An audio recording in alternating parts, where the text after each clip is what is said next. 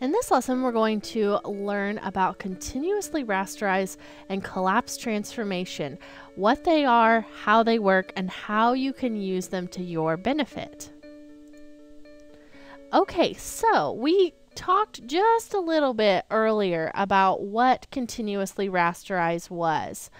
So let's do that again just to kind of reinforce. We're to, this time we're going to do it for our plane.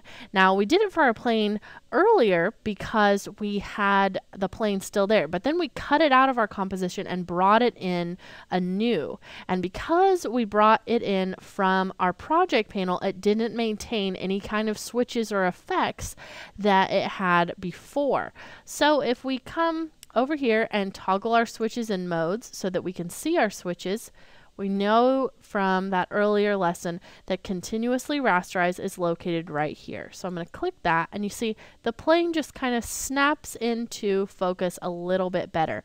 You can see it a lot better if I'm at 100% and I toggle that on and off. You can see how that gets a lot more clear. So what is happening is anything that you make that is a vector file is created with points and curves. And those points and curves use math to figure out what the smoothest line is that they can make. Now, whenever you're working with pixels, that's it. You've got a certain amount of pixels, and if you try to scale them up, those pixels are going to start to look alias, like what we have here.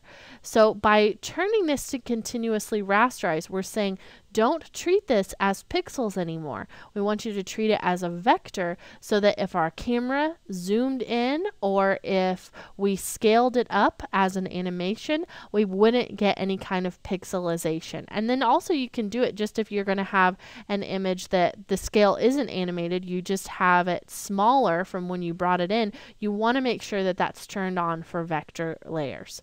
Now, we also have something called collapse transformations. And that is actually the same switch. So if I hover over that switch, you can see that it says for comp layer, it's called collapse transformations. For a vector layer, it's called continuously rasterize. And the difference is that for a composition, when you turn this on, you get a lot of the same effect. But in this scenario, whenever you do it for a composition, it's saying look inside of the composition for the data that you need there. So in our composition, we already turned on our continuously rasterize switches for the different layers, not different comps, these are layers.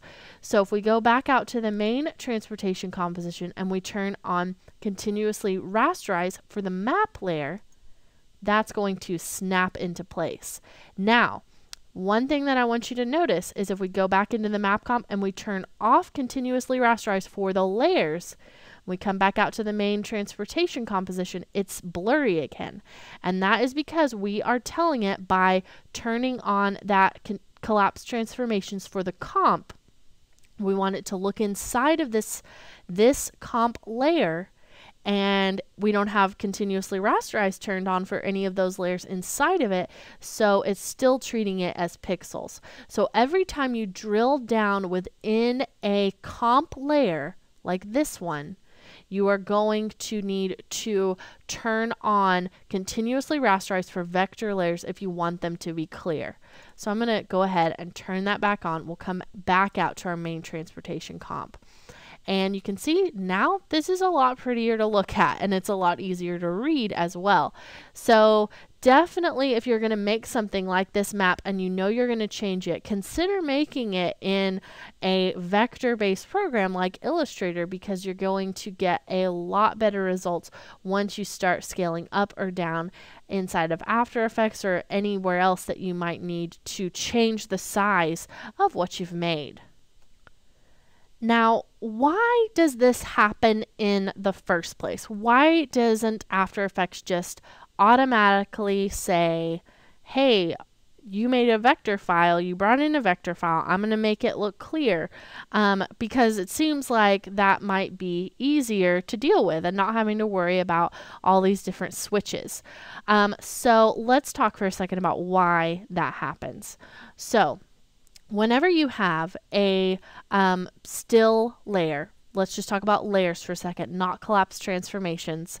Um, After Effects is automatically going to recognize it as pixels. And in some cases, this will be what you want because certain effects don't actually work whenever you have collapse or excuse me continuously rasterized checked on so because of that issue um, you have the ability to turn it on or off.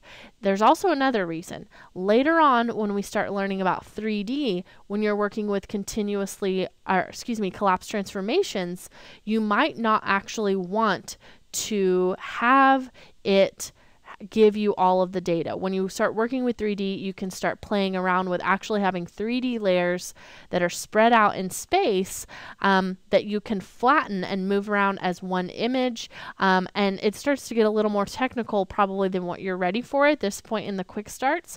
But having the ability to change that is helpful. Now, another reason, um, and really the root reason why this happens, is because after Effects has what you call an order of operations. So it calculates things in different orders. It can't calculate everything that you've changed at once.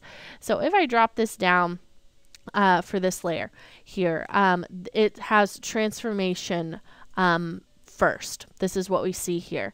Um, and then it's got these properties. So it's going to start to uh, recognize these in kind of a top down way.